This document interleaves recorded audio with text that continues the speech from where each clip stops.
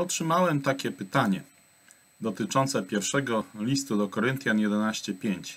I każda niewiasta, gdy się modli albo prorokuje, nie nakrywszy głowy swojej, szpeci głowę swoją.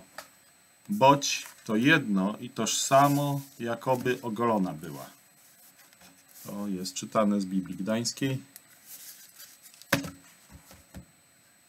Poza zborem niewieście można się modlić, nie nakrywszy głowy swojej? Takie jest pytanie.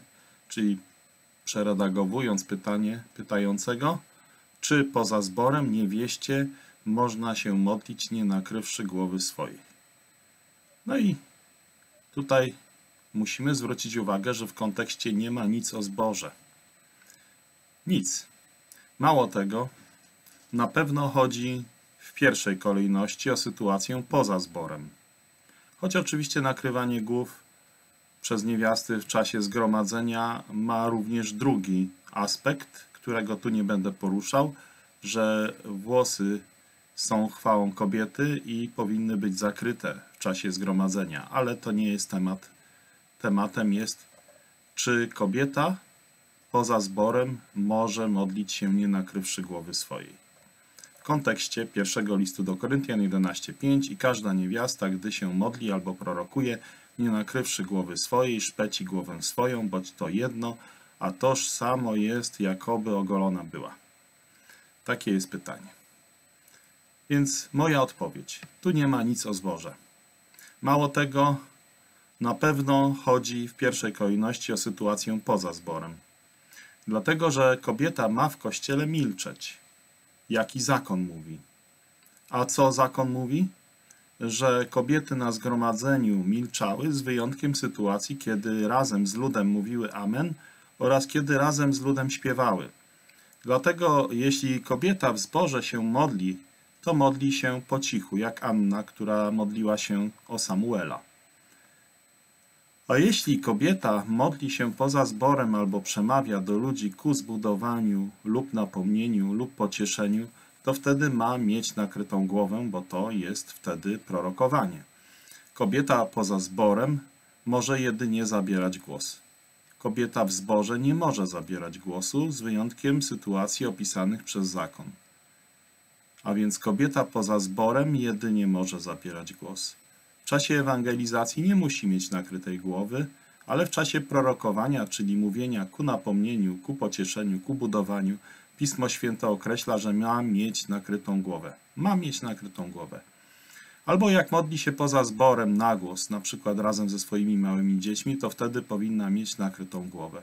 Albo jak jest modlitwa wspólna, rodzinna i jest takie mini zgromadzenie, gdzie na przykład mąż albo brat się modli, to wtedy też powinna mieć nakrytą głowę. Albo gdy jest zgromadzona gromadka ludzi wokół, wokół jedzenia, przed posiłkiem na przykład, albo po posiłku i chcą podziękować za posiłek i dziękuję brat albo inna osoba, to wtedy inne siostry, które uczestniczą w tej modlitwie, powinny mieć nakrytą głowę.